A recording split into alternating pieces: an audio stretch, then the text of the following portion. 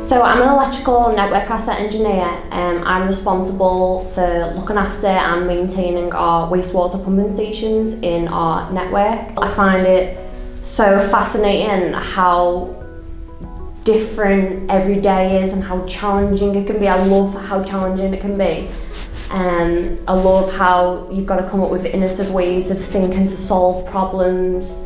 I've got quite a few um, highlights in my career. I was nominated top 50 future list for Northern Power Women Awards last year. Um, I got to go to Manchester in the Hilton. I got also got to present an award as well. It was absolutely fascinating. And I really enjoyed meeting you know other women um, in business. When I was in school, um, I love cars and I wanted to be a mechanic at first. And like I spoke to my dad and I was like, oh dad, I really want to go into mechanics. And he's like, what about engineering? Like, you know, you, you love physics, you're good at it, you're good at maths, why don't you do engineering? I think there are very few women because first off, it's a male dominated career choice at the moment. I think women are put off by that because they think, they doubt themselves that they can't do as a good job as a man when they can. And I think women also put off because they think it's a dirty job and it's not glamorous, but really you can be an engineer who's office based or you can be field based.